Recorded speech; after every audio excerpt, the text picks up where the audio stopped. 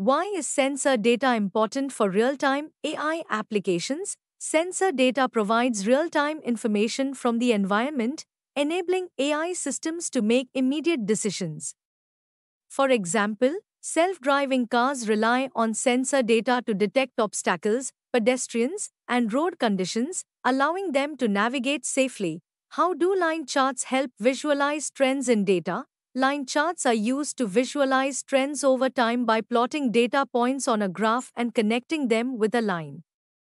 They help identify patterns and changes in data, such as sales growth over months or website traffic over a week. What are the benefits of using data analytics in AI?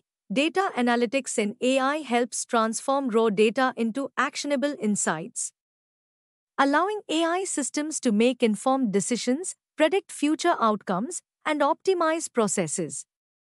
It enables businesses and organizations to improve performance and efficiency. How does predictive analytics help businesses make better decisions? Predictive analytics helps businesses forecast future trends by analyzing past data and identifying patterns.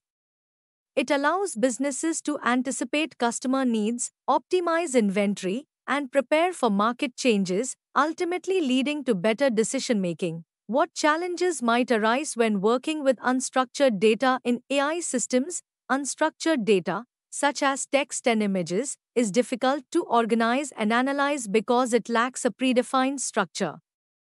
AI systems must use advanced techniques like natural language processing and computer vision to extract meaningful insights, which can be computationally expensive and complex.